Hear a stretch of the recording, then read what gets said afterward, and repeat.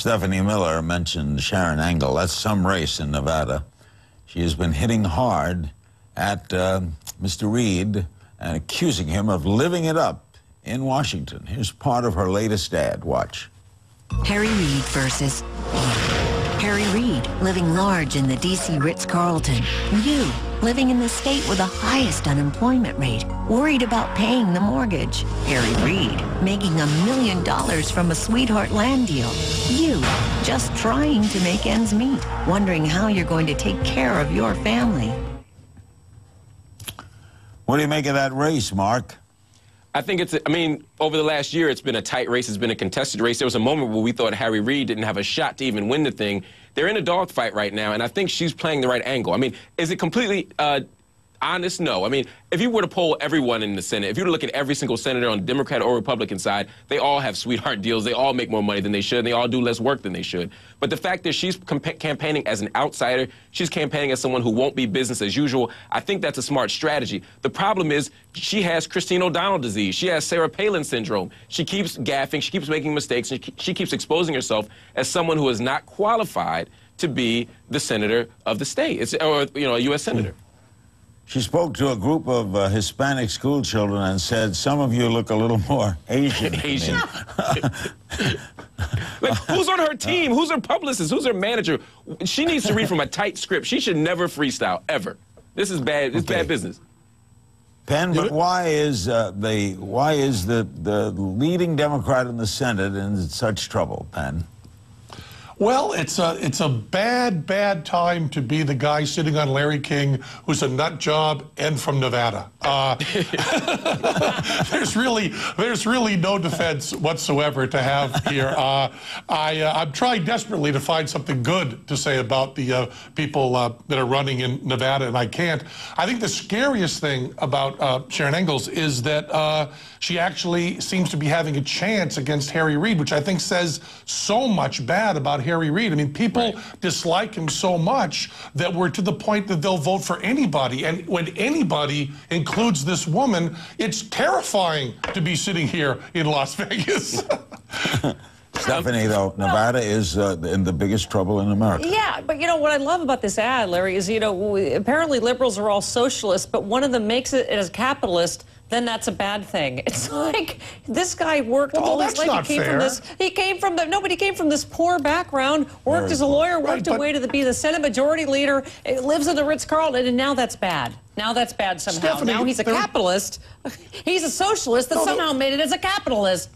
No, there's so many there's so many ways to attack this woman, Stephanie. Don't pick the one way you can't attack her. She's talking about it's not anti-capitalist to say the government shouldn't give a lot of money to uh, to one person. That's a whole different thing. You can attack her. You win For automatically. God's sake, she wants she's to ban she's, the Department of Education. She wants to ban drinking in Las Vegas. No, no, no. That that's all stuff. That's show? all stuff.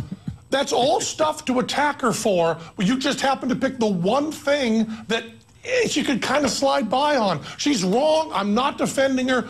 I, I won't at all. I'm uh, just Mark, saying I, that's not really the right thing to attack. Mark, Mark yeah, doesn't but, that sum up the whole problem of the Democratic Party that the majority leader is in trouble against a woman who we can. it's crazy someone who's destined for anonymity in two in, in two weeks. Yeah, absolutely. Yes. This is absolutely a bad sign for the Democratic Party. And the reason why he's in such peril is not because of his own track record necessarily. It's because of the track record of the Democratic Party. People are frustrated with business as usual. People are frustrated with the fact that we had a, a de facto and at one point a literal supermajority and still couldn't get legislation through. And sadly, Nancy Pelosi and Harry Reid are the faces of all of the, the spineless, feckless Democrats who have un been unable to move forward progressive agenda. And if, if, President Obama were on the ballot in 2010, he would also have a tough time. I'm not saying he wouldn't win, but he would Excuse also me, be bearing the moved, brunt of some of this. They've moved forward more legislation than in a generation. What are you talking about? But, that, but, that, but that's, that's it's not the... Hard. That, Financial reform, well, health care reform, Lilly Ledbetter. What are you talking the about? Point,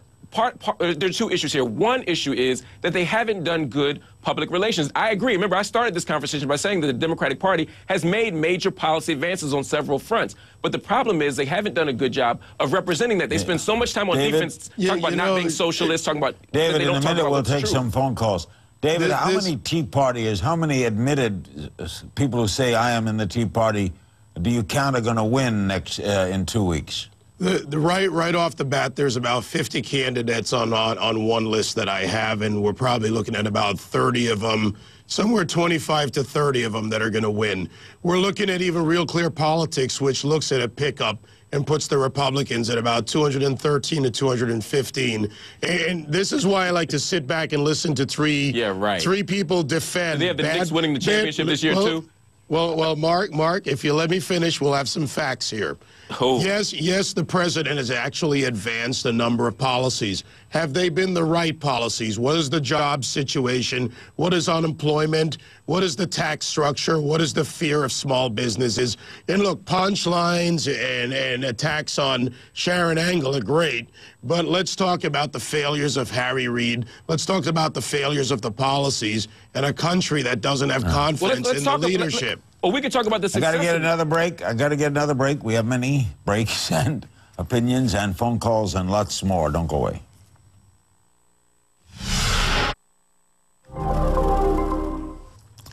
Still, America ranks very low in the world in turnout in elections. Way down. Surprising when you hear all this rhetoric. Let's take a call. Larkspur, California. Hello. Yes, hello, Larry. I'd like to ask a question, and if I could stay on the line to see if they give the right answer. You mean, oh, it's a like question, to- right or wrong? Okay, go. I, I'd like to ask the panel if they know where in the in the Constitution we are guaranteed separation of church and state. First Amendment, sir. Ding, ding, ding. No, actually, it does not guarantee uh, separation of church and state. All it promises is that the, that the government cannot establish a religion for everyone in the government. It does That's- not. That's separation, sir. It does not The government can establish a religion, therefore that separates the government from religion. Right. The, the No, principle. The, the not princi- necessarily. The, the principle Okay, behind the principle behind it is to prevent state-sponsored coercion of religious thought and freedom. I mean, that's the idea: is that the state can't coerce religious practice. Uh, let's. Oh, here's some. You talk about campaign rhetoric becoming heated. Here's John McCain on his fellow senator Barbara Boxer. Barbara Boxer is the most bitterly partisan, uh, most anti defense senator in the United States Senate today. I know that because I've had the unpleasant experience of having to serve with her. What do you make of that, Stephanie? Ouch. Wow. It- just when you thought he couldn't get any rare, he couldn't get any crankier than during the last campaign. He's in full get off my lawn mode, isn't he? Um, But that's the way America's getting, isn't it? Isn't that I- I representative guess, of but, what's going but, on? You know, Barbara Boxer is one of our finest senators, and whatever happened to the comedy of the Senate? I mean, it, it- this is, you know, un, unnecessarily personal. And, and I'm sorry, he's supporting a candidate whose whole experience is running a company into the ground, getting fired, outsourcing thousands of jobs. So, you know, for him to take on Barbara Boxer that way is, is Penn, young. why is this campaign overall so vicious? You're a good I- I analyst of all of this, Penn. Analyze this for me. I, I don't believe that it is. I believe that we've had fistfights break out in the Senate. I mean, in the uh, in the, in the country's history, uh, things are supposed to be uh, uh, passionate. I mean, when it gets personal, it just gets stupid and it hurts. I think the person saying it more. But we always pretend that things are getting hotter and more aggressive, and I don't think there's any historical I think they uh, are. I think evidence they of are, that at Penn. all. I think they are. Even uh, fistfights breaking out in the Senate, it's different than the kind of public skirmishes that we're beginning to see now. When you have people like Sarah Palin, for example, Really? put it, when you have people like Sarah Palin, for example, putting crosshairs on a map and talk and, and using the sort of militaristic language of targeting areas at a moment where people are getting their offices broken into, where real violence is happening, that's a heightened kind of thing. When you see Tea Party violence, when you see violence coming from the left as well, this type of stuff is a, is a moment that is more heated than many in American history. I think this is something that we should give pause to and not Oh. pretend that this Well, is well, business as I- usual. It's not. To, to be fair, I Well, think you know, I think it's a lot easier what John was McCain said versus say calling someone a whore. I mean, let let's let's be straightforward about this.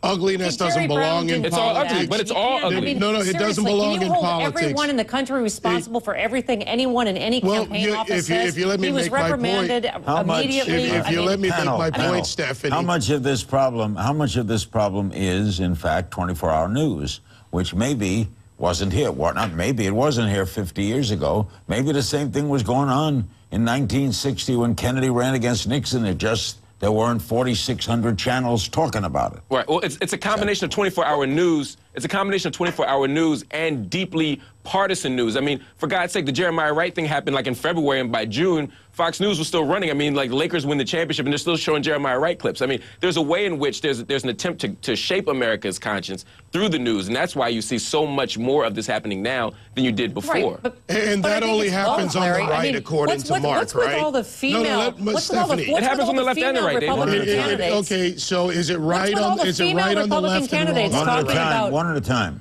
Mark, what's with all the female Republican candidates using the term man up? Man up.